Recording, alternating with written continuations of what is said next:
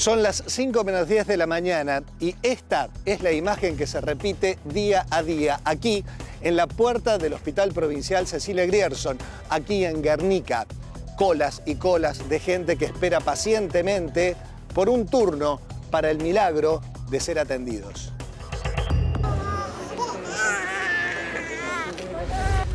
Hola, buen día. Bueno, con frío.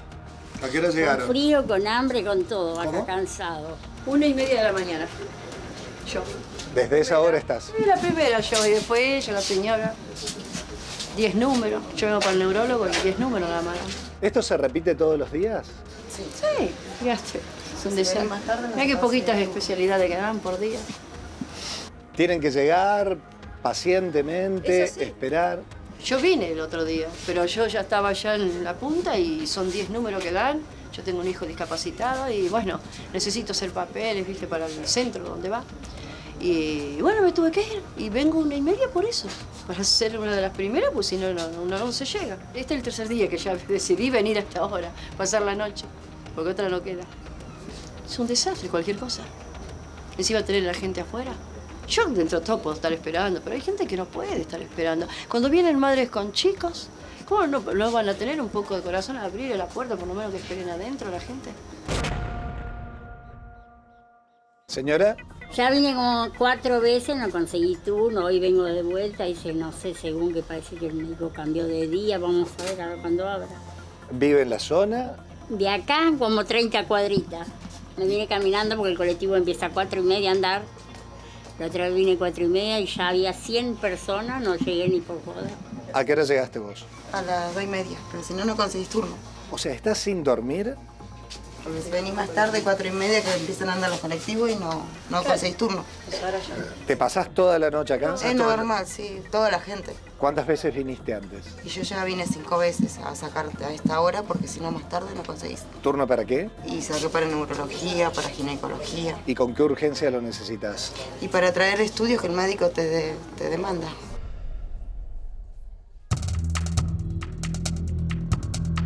¿A qué hora llegaste?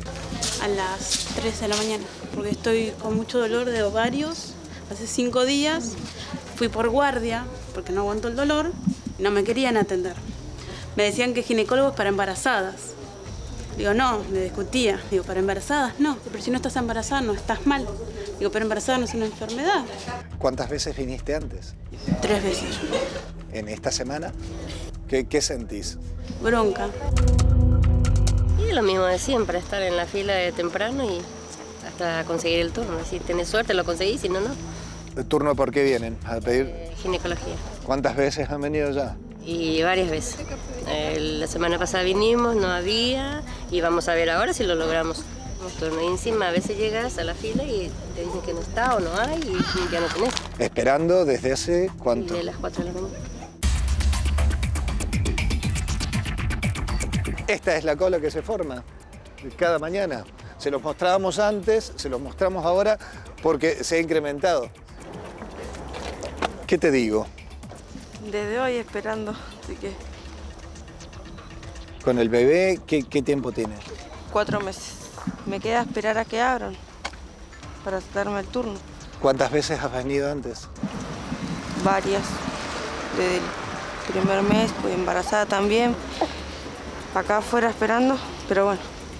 Cinco y media de la mañana, acaban de abrir la puerta del hospital, está pasando la gente poco a poco, que se van acomodando y formando la misma fila que habíamos visto aquí afuera, pero ahora adentro.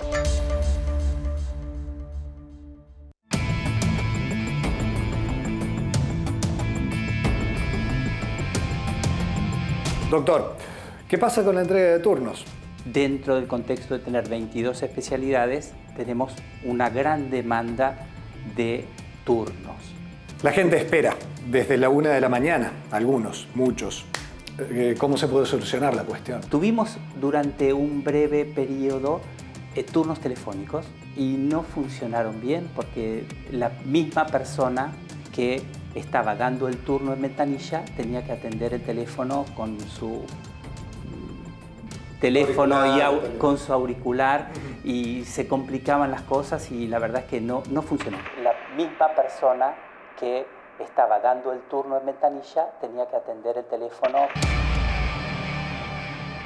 ¿A usted no le gustaría estar a las 5 de la mañana y haber estado desde la 1 de la mañana esperando con un banquito para que lo atiendan en un hospital? No me consta que haya gente desde la una de la mañana. A nosotros sí.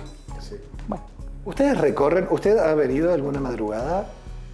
he estado de guardia durante 18 años en este hospital. Entonces, he pasado noches visto, ha- enteras sin dormir, ha visto operando. toda la gente- Sí, claro. He visto a la gente golpeando la puerta. eh, Qué feo, qué feo que después de 18 años se siga repitiendo la misma situación.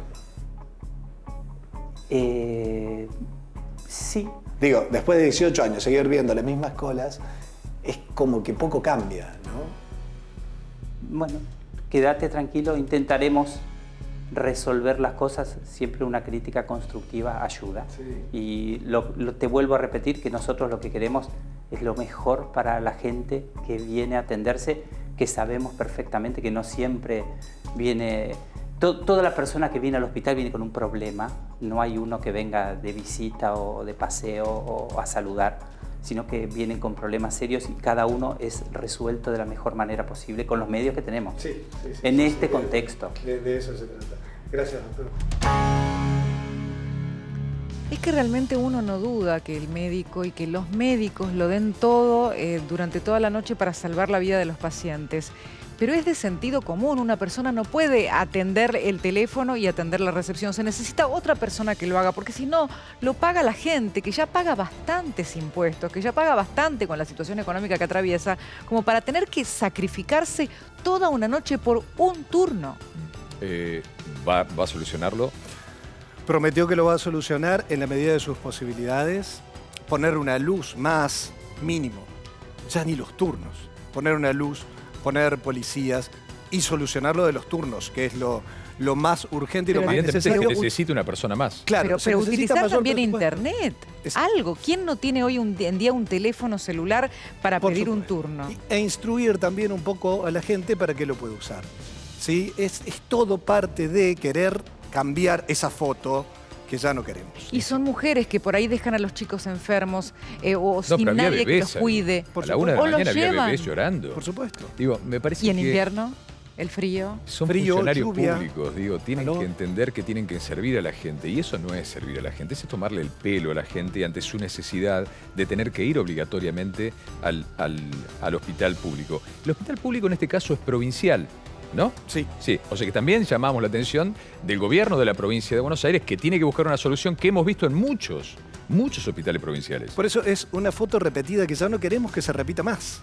Eh, No, y, Porque y sea aparte vos repetida hiciste no es una bien, justificación. hiciste bien en decirle, pero doctor, usted está hace 18 años pasando la noche atendiendo a los, a los médicos y no cambió nada, Mm. ¿no? Porque esto de que sea la normalidad y de que tengan que resignarse esas personas a tener que de alguna manera sacrificarse pasando la noche en vela por un turno, ¿no? es No, no, no puede ser más. Es la Argentina que no queremos. Más. Definitivamente.